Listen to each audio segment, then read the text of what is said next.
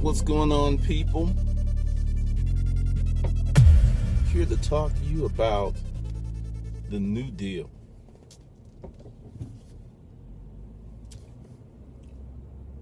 I read a lot of papers, I watch a lot of documentaries, and we are in one of the most innovative, technologically advanced, over the top, crazy, exciting opportunities exist in under every rock points in time of history.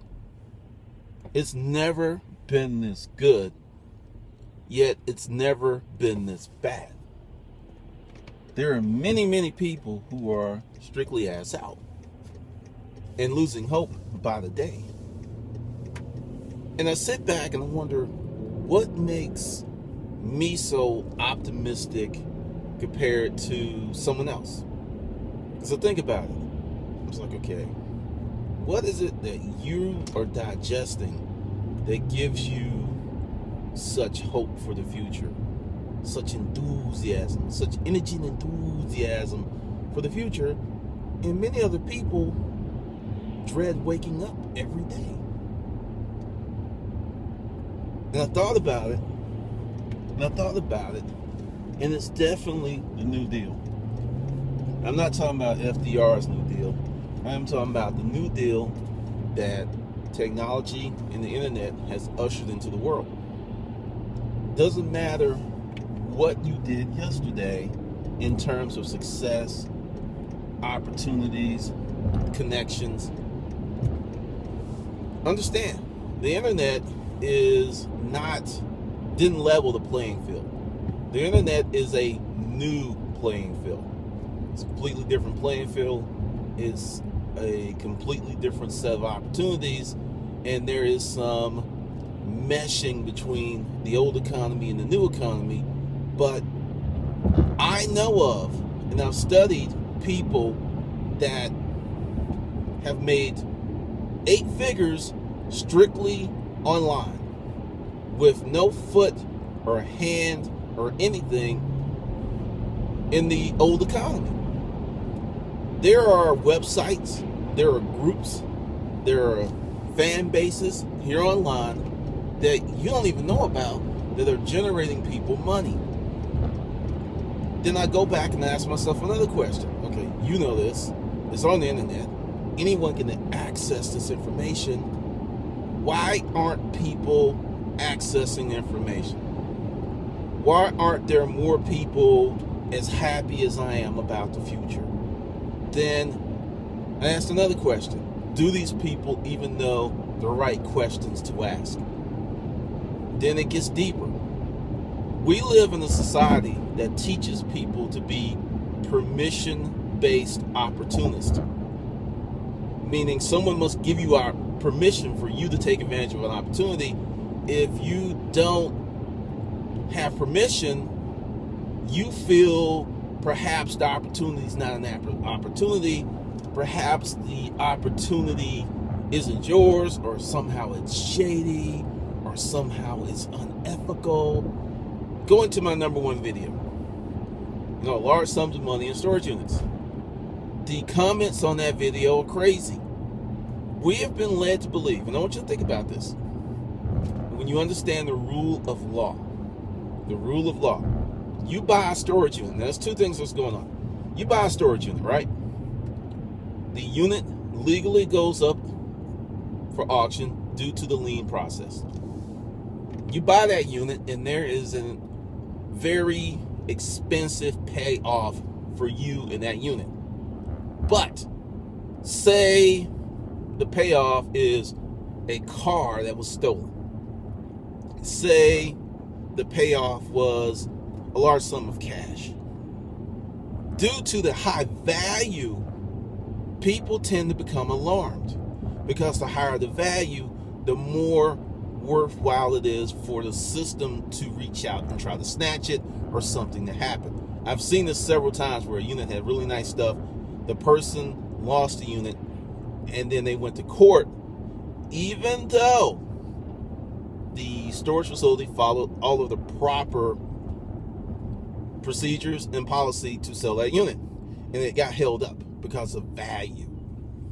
Now, we are taught that value is something that you must have permission to get. How many times have you heard someone's like say, because we live in a weird economy. We got two groups of people. We got people who feel that they don't deserve things, and we have a, over a large group of people that feel they deserve things they have not earned. But you've heard people say, "Well, I didn't deserve that. I didn't earn that." Uh, typically, these people are going to be older because that is the world that we grew up in. But with this permission-based society, many people are waiting for approval to be successful. If that approval does not come, then they won't be successful. And the approval is not coming. Now, the deal with this is with the new economy, the new deal, internet technology, it doesn't require approval. It requires initiative. It requires radical thinking. It requires hustle. It requires a different mindset. But it does not require approval. And many, many people are missing this. I love watching young internet entrepreneurs. And I'm not talking about the Mark Zuckerbergs or the guys who did PayPal or the guys who. I'm not talking about those guys. I am talking about this kid who started putting up stuff, created a website, and bought himself a Ferrari at the age of 20 with money he earned. Maybe a millionaire, may not, I don't know. But he's clearly, and there, there's a lot of cases like this with kids. You know, sometimes in high school, I'll take Michelle Phan, who, who was one of the who was the first makeup tutorial guru on YouTube. And these young people have leveraged doing stuff, thinking differently, into large sums of income. They don't know that they must ask permission to be successful. I want you to think about that. And I, I give you their ages not to make you feel bad about yourself or to go, oh, I missed the boat. If you're thinking like that, then you have larger problems than I can help you understand. What I want you to understand is at those ages, they don't have years and years and years of experience. They don't have it. Some do. Might say a kid who starts coding at 10 and creates a company at 20. He's got a decade of experience. But I have seen and this is I study this, and this is one of the reasons that I changed the direction that I run my business and I changed my training. I've literally seen people start companies from nothing and get to seven, eight figures in four years, strictly using internet protocols. That's crazy exciting. Crazy exciting because the promise of the internet is this every day something new is coming up new technology, new platform, new social media. Many of these things are going to fail, and that's cool. But there will be some that will succeed. If you learn, because there's a guy, I don't know him, and from what I gathered, well, I actually listened to him on a, a webcast, a webinar. This guy learned the ins and outs of LinkedIn, wrote a book about it, gave uh, webinars, talks about it, and he created a seven figure business over the course of, I believe, I think this is his sixth or seventh year. He did that from home. He did that from home. You can take a platform and learn the ins and outs of it and become a, I'm not going to say an instant authoritative voice for that platform, but you can do it rapidly. You can do it very, very rapidly, and rapidly being a matter of weeks or months. You can do that. That's exciting.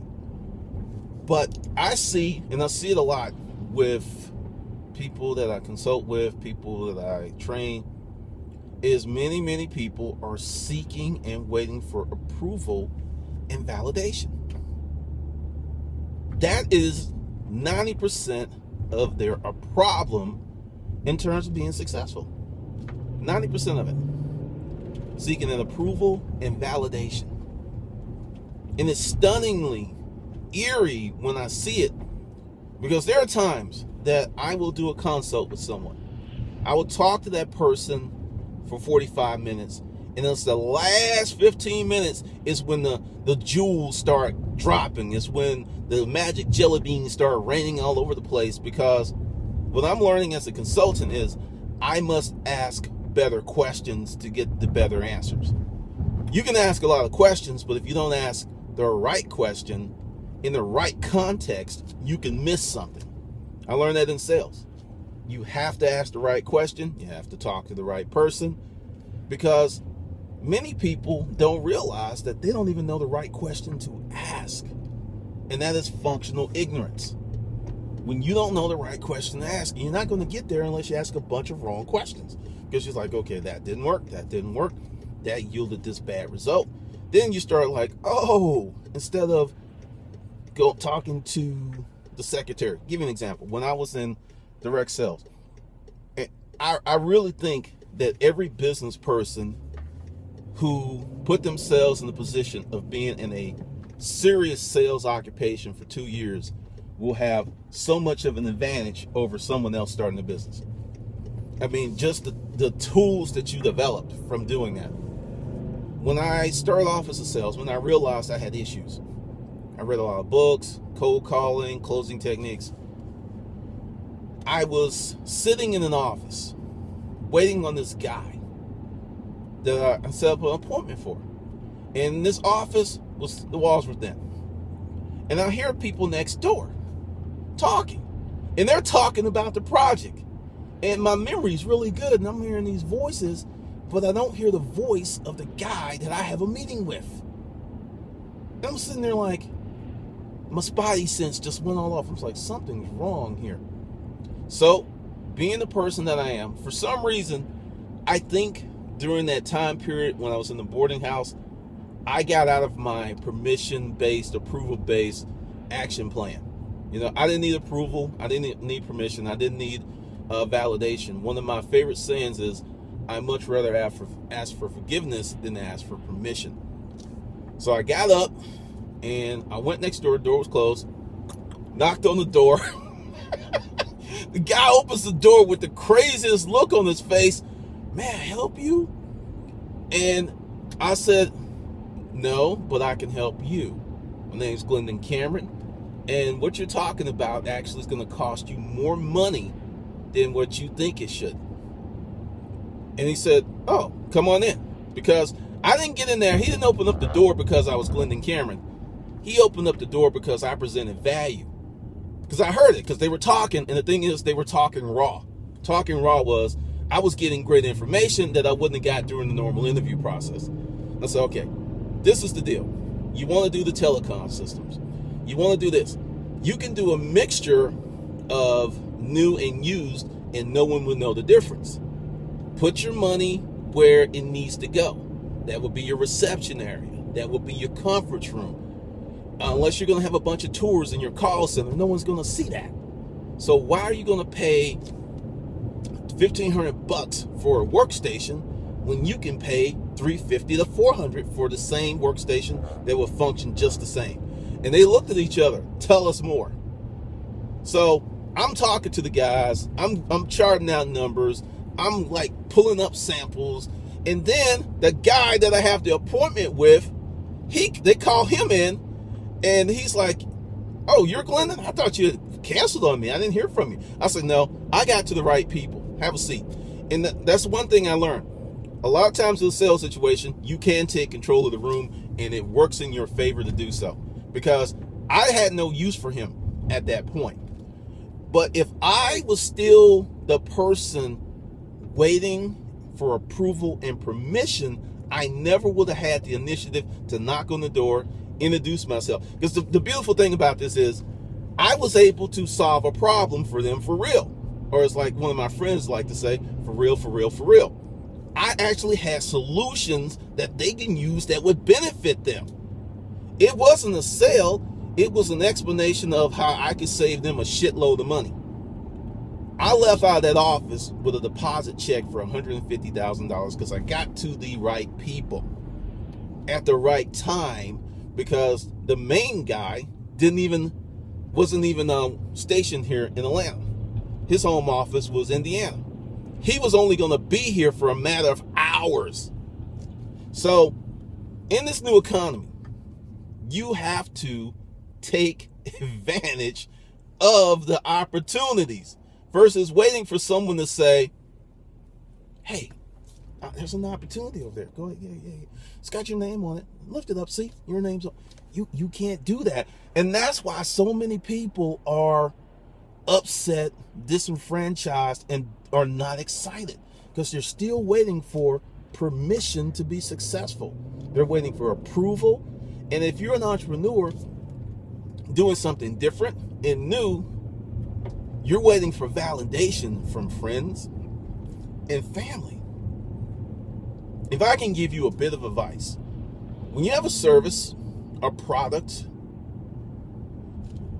go to strangers first and friends second.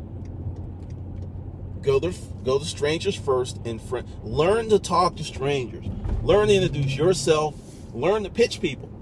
That's where it sells. Because each sales call was a pitch. That's what it was. You were pitching benefits, features. You were pitching. You got to learn how to pitch. When you are a guy and you see this gorgeous girl and you walk over, you are pitching. When you are a woman and you see this girl and you want to be part of their committee, you go over and introduce yourself, you are pitching. Everyone needs to learn how to pitch. Every time I do a video and I put something in or I mention something, I am pitching. It's a constant thing because you need people and you need to learn how to pitch to people. You need to learn how to ingratiate yourself to people as fast as possible. I'll, I'll, give you some dirty information for guys. And this is something that a lot of people don't know. When you meet a woman, she makes some decisions about you in about 15 seconds. It's not really a conscious, it's more like a semi conscious, semi subconscious thing, but certain decisions are made about you immediately. And if you know what those decisions are, hopefully they're favorable for you, you can go very far with that woman. But if you do like most guys who what I called this kind of this kind of goes back to the validation thing. This goes back to seeking approval. You put yourself, and this is even the business lessons, and a lot of people do this. They'll create a product, service, or something, and then hope that the society or whatever will approve. They'll they'll there's like they'll hope they're approve. Then when society doesn't approve, they try to convince society, the guy, the girl, whatever, that they should approve this when society, the guy, the girl, has already made this decision that they disapprove of this product, service, or person. So essentially, what you're doing is swimming uphill with half your flipper tied behind your back. Now, when you learn how to get past the permission and the validation thing, because that's what you're seeking. You're seeking validation. You change people's perception of you. There are many, many people on YouTube who can't stand my black ass. Fuck you. Yeah, I had to get that there. But that's not going to stop me from making YouTube videos. That's not going to stop me from pitching. That's not going to stop me from saying, hey, I'm Glendon Cameron. I do this stuff. I believe it can help you be successful. That's what I'm going to keep pitching because there's a group of people, great people, awesome people who love my black ass. Thank you very much. Appreciate you. And I'm crafting my message for those people. I do not craft my message for haters because it's a waste of time. Why waste energy trying to convince people who've already made a firm decision that they should change their decision. When there are other people who are saying, give me more. Do you understand where I'm going? You have to learn how to get past these words validation, permission, and approval. you approve your own damn self and you put your stuff out there. I'll give you another example of someone that proved himself and built a market. Howard Stern. Talk about someone that people can't stand.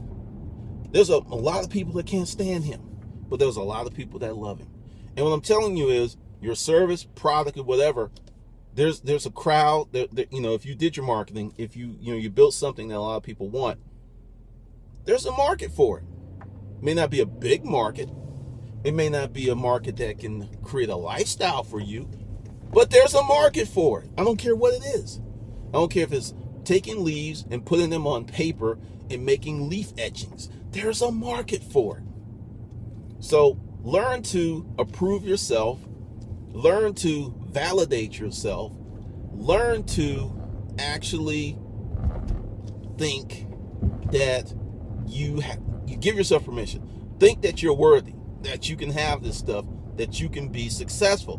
Because the new economy does not require permission. There are no gatekeepers. I do publishing. I could not do what I did in the last five years, 10 years prior, because there were gatekeepers. I had to get permission of the publishing industry. I had to get permission of an agent. I don't have to do that. You don't have to do that. There's a market. It's your job to validate, approve, and permit yourself to find it. All right, this is Glendon Cameron, and I'll see you on the good side.